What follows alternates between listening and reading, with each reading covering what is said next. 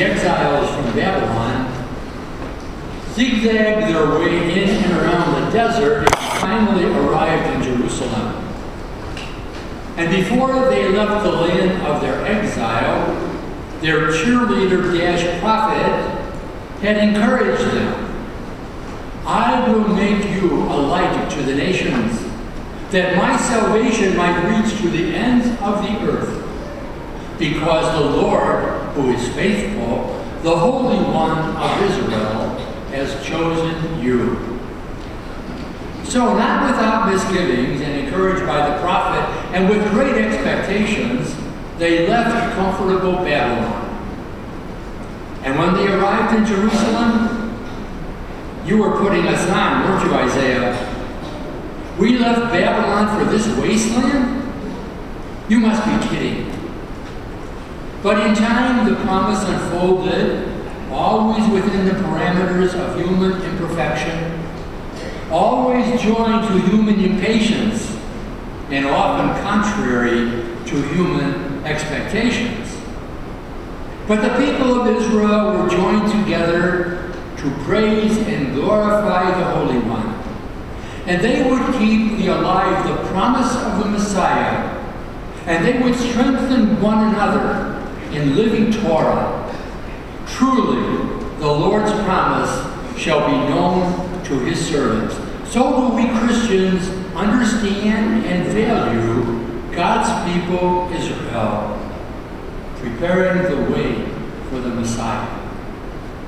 The Lord appointed 72 others whom he sent ahead of him. The mission, the beginning of a renewed Israel in Jesus, the realization of Israel's hope for salvation, but it's no longer the emphasis on the land or the temple. No.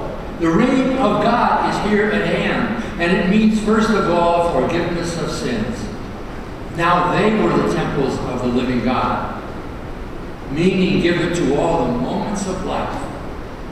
True religion stresses interiority, not external observance. Good news indeed. In succeeding years, these wandering lay preachers with resurrection faith, these wandering lay preachers would go south to Egypt, north to Lebanon and Syria, east to Persia, which we now know as Iraq and Iran. And by the 4th century, they would take the trade route to China. So, the word that is Jesus, by the power of the Spirit, spread. And we hear Peter's exultant cry You are a chosen race, a royal priesthood, a holy nation, a people of his own, so that you may announce the praises of him who has called you out of darkness into his wonderful light. Once you were no people, but now you are God's people. Once you had not received mercy, but now you have received mercy. So the self-understanding of the community of faith at the end of the first century, confident, mission-oriented, with the power of the Spirit and evangelizing people. And now, in all honesty, people on the outside and many people on the inside as well take a long look at the church and they say, You proclaim that you are the inbreaking of the reign of God. You must be kidding. We expect much more from you if this is who you truly are. For so many, rightly or wrongly, but for so many, the church has lost its credibility as a witness to the ever faithful Christ. So let's reflect on this for a few minutes. We can't deny the diminishing number of observant Catholics, many of them from our own family, certainly from my family, among our friends. A slogan, once a Catholic, and these people are not so much against the church, they're just indifferent. It doesn't enter into their consciousness. Diminishing numbers of priests, religious, empty convents. When I was ordained in 1951, there were 39 of us being ordained. This year, six. And we are told by authority, oh, the number is increasing. Yes, and the moon comes up at noon. And there are school closings, grammar schools, high schools, all over the nation, but not only in our nation, but all over the world. And there are other connected issues, you know, the scandals of priests and bishops, the continued centralization of decision making in the church. So contrary to the decrees of Vatican II. And in our society, materialism, hedonism, and skepticism. And with all this turmoil, we Catholics have been humbled. No longer, as when I was ordained, no longer the triumphant know-it-all people, we have come to know ourselves as a pilgrim people, searching, sometimes sinful people. And the temptation for all believers is to get off the train or to lose confidence in the power of the Spirit that is within us. But you know, there are signs that we are truly listening to the Holy Spirit. We have come to know, first of all, that beyond any human authority in the church, it is only the power of God's Holy Spirit that is the source of its life and vitality and unity and peace. No human authority does it. And as never before, in the long years of my life, as never before, the church is, connect, is connecting the missions to the needs of the world. You may never have heard of the Catholic Relief Service. It's the agency of a worldwide mission of Catholic people, you, with your money. It's a mission to the wherever there is a need. And lay people are the ones who, by and large, are the administrators of this magnificent work of charity. When I helped out at Holy Family Church, I mentioned this one time in a homily, and a lady came up to me afterwards and she said, I am so glad that you mentioned that about Catholic relief services. My son is in Uganda and he's the administrator of a rather large section for Catholic Relief Service. And he married a native woman. Ah, would this have happened 60 years ago? She would never have told anybody about it. The world is changing. And we are part of that world. Catholic Charities in Chicago. You know, all the other social services together do not affect what Catholic Charities in Chicago does. It dwarfs all other social agencies. And then there are the many lay who join religious orders in ministering in foreign countries. The Jesuit volunteers, the Maryknoll Associates, doctors committed. I read in the paper just the other day about a husband and wife team of doctors and they spent four years in South America, and now they're going to Asia. And they're bringing their children with them. Ah, the work of the Holy Spirit. Yes, each of this are relatively small, but collectively, a growing faith-conscious number of women and men in mission.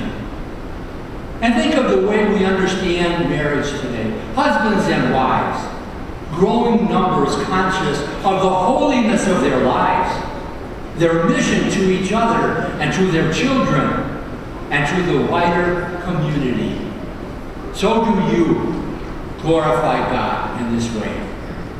And then there are associations of priests and religious and lay people in Germany and Ireland and England and the United States challenging the status quo and challenging our leadership their voice is being heard. Maybe not accepted, but their voice is being heard.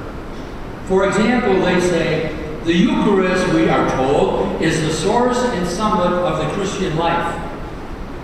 But how can we continue the present system of admitting to priesthood only celibate males when so many are without the celebration of Eucharist?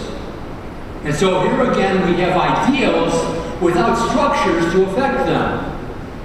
And the voice of people is being heard. It hasn't touched this diocese yet. But even now in the United States, especially in the western part of our country, there are Catholic parishes that only see a priest a couple of times a month. Something has to change because of the very ideals that we propose. Lay women and men, educated, now prepared to lead as directors of religious education for youngsters and adults, directors of liturgy, religious sisters, so highly educated in our day. You know, very honestly, most people don't realize that the sisters of the last many decades have received university and college educations, far better than my education. And so we have these religious sisters now, many of them leading faith communities where there is no priest. And in our own parish, many involved, so many on the local level as never before. Volunteer ministers of care, ministers in liturgy, the food pantry. These are all sources of hope if you reflect upon them. I could go on and on, but I see Eagle down there looking at his watch, and so I won't. so as we have come to a deeper love and study of sacred scripture, led by our Protestant friends, so they in turn have learned from us. They have learned Catholic social thought. That trusting and believing in Jesus has to go something just beyond Jesus and me. I forget the man's name, I should know it, but he was the uh, chief uh, speechwriter for uh, President Bush. And it was he who somehow pushed that $75 million aid to Africa some many years ago for AIDS. And he said this, he said, I am not a Roman Catholic, but my conscience has been formed by Catholic social teaching. So things are happening in our world, things, beautiful things, that evidence in many ways the power of the Spirit. As never before in the history of the church, as never before, Christian people are connecting mission to life, to issues of war and peace, of poverty in the midst of affluence, of addressing issues of immigration with a sense of compassion and charity. No easy answers to complex problems, but our point, of reference today is Jesus. His life, his values, who came to bring peace and compassion and unity to all he encountered. So here we are, the children of those 72 disciples, and like them, sent to proclaim the immediacy of the reign of God as we address all of life's issues. May the Holy Spirit strengthen and enlighten us so that in ways that we can, we will reflect and echo God's reign, bringing light and life to others.